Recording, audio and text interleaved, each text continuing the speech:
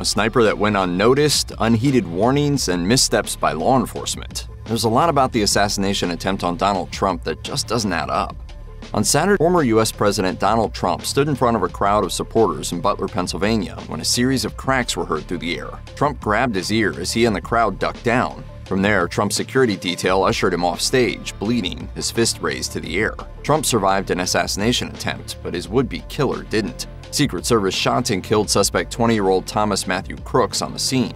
Reuters notes he fired an AR 15 semi automatic rifle from a nearby roof. Two people were injured and one person died. Investigations into the assassination attempt are ongoing. According to available information, Crooks was a resident of Bethel Park, Pennsylvania, and a registered Republican. In 2021, he reportedly donated $15 to ActBlue, a Democratic political action committee.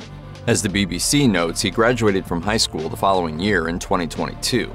His firearm reportedly belonged to his father.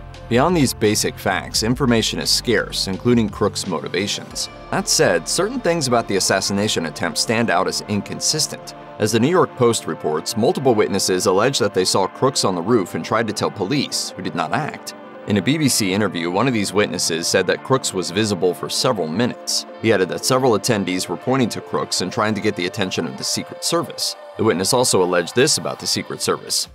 They were looking at us the whole time when we were standing by that tree. However, the witness also admitted that Crooks probably went unnoticed by the Secret Service because of the slope of the roof where he was laying down. He was behind where they could see. On X, another witness described seeing Crooks on top of one of the buildings. He noted law enforcement was made aware. While human error is a possibility, it does come off as troublesome that members of the crowd report seeing Crooks in the open while Secret Service and local police couldn't.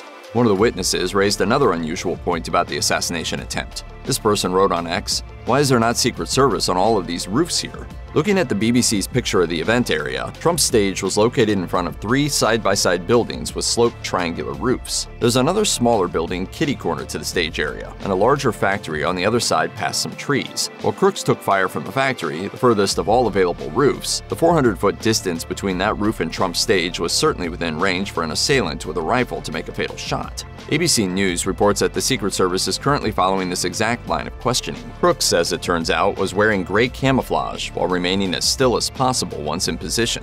The distance at which he fired, meanwhile, is the distance that U.S. Army recruits have to demonstrate capable marksmanship by hitting a human sized target with an M16, a military weapon comparable to Crook's AR rifle.